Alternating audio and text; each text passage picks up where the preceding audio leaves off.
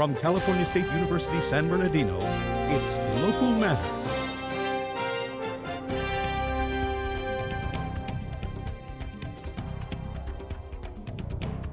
The Planes of Fame Air Museum. Hello, I'm Paul Dudley and welcome to Local Matters featuring stories from across the Inland Empire. From actual World War II planes to Grand Hollywood prop planes, the Planes of Fame Air Museum is a fun place to learn about the wonderful world of aviation. Reporter Anne-Marie Tahramanis gives us a closer look at these majestic planes. From the original Flying Wing to the B-17, Planes of Fame Air Museum has it all. Here in Chino, there are about 80 planes available for the public to see with about 25 of them being flyable. Brian Boyer and Stephen Andridge were nice enough to show me around the museum and teach me a little more about World War II airplanes.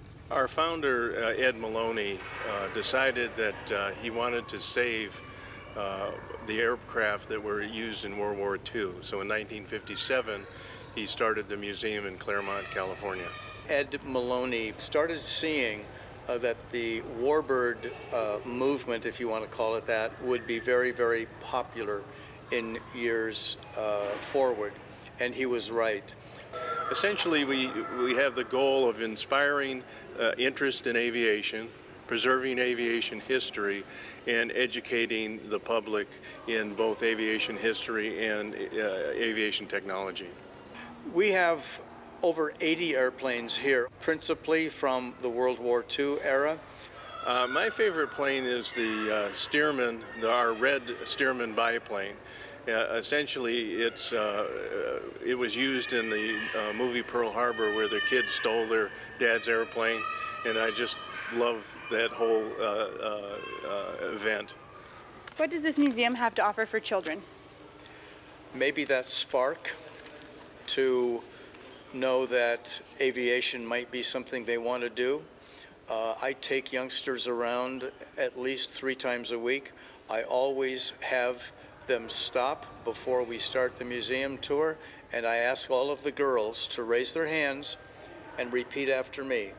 And they look at me attentively, and I say, girls. They say, girls.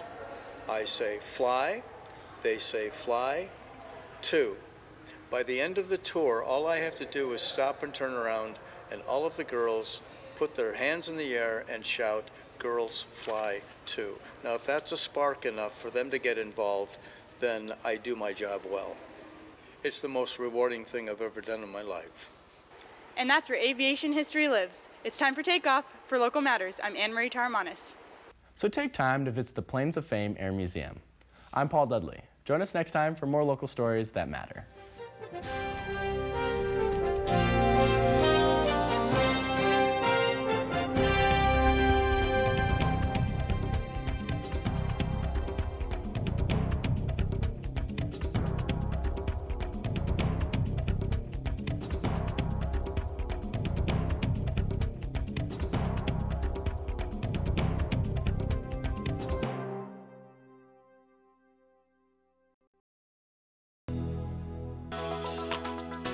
College of Arts and Letters graduated its first students from the new Arabic language program, a first for the CSU system. The Department of World Languages and Literatures received more than $200,000 in federal funds to bolster its Arabic programs. This fall, the college will begin a Master of Fine Arts degree in creative writing. As indicators of faculty excellence, art professor Brad Spence had a painting acquired by the Santa Barbara Museum of Art. Vocal music professors Andy Crane and Stacy Frazier performed in Europe. Theater professor Johanna Smith visited four Chinese cities with her students on a puppetry tour. English professor Joe Sutliff Sanders edited three books for classic comics in London.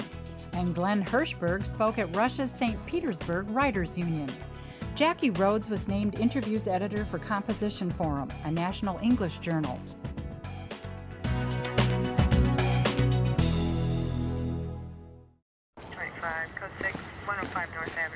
You failed to signal your turn. You didn't come to a complete stop, and your left tail light is out.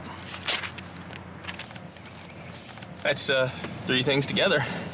so it's cheaper, right? Like the charter bundle. Digital cable, phone, and high-speed internet all together for less.